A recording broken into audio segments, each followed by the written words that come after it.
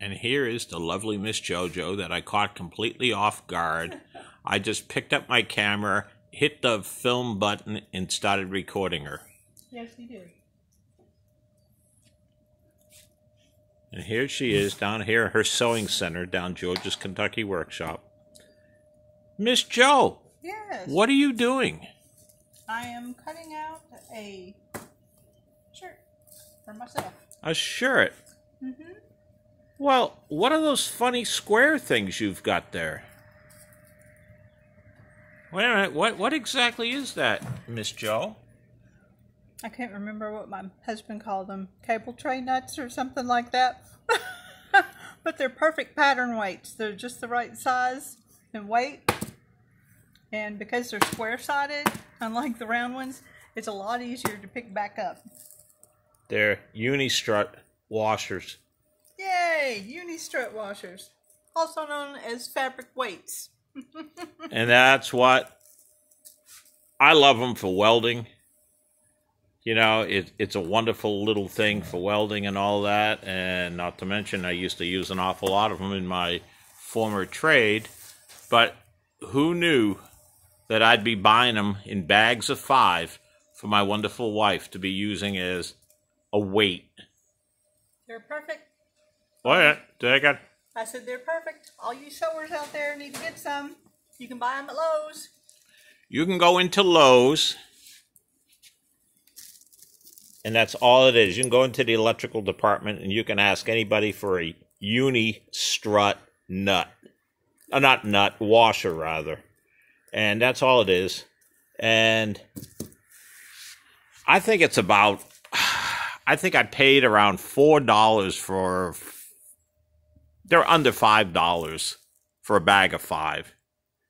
And And a dozen, no, 10 pattern weights on Amazon is about 20 bucks. And they're little glass and they will break and they're clear and they're not getting flat. So these are less than a dollar a piece, buying them retail at Lowe's.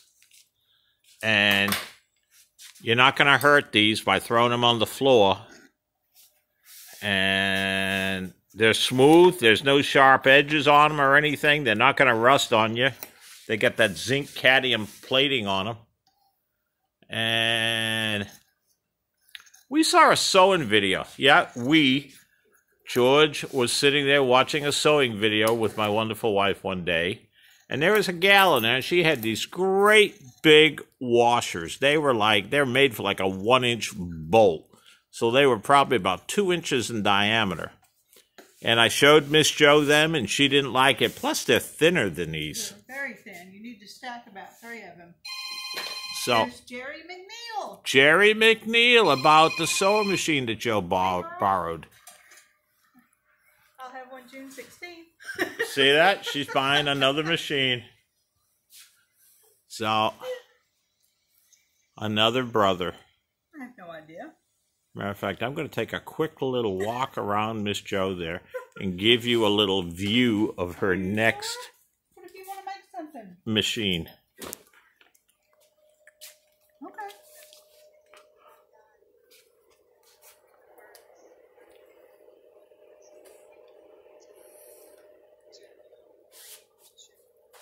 It's a brother It works on woven cover stitch.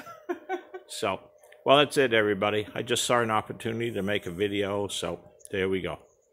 Say goodbye. Wave. Bye.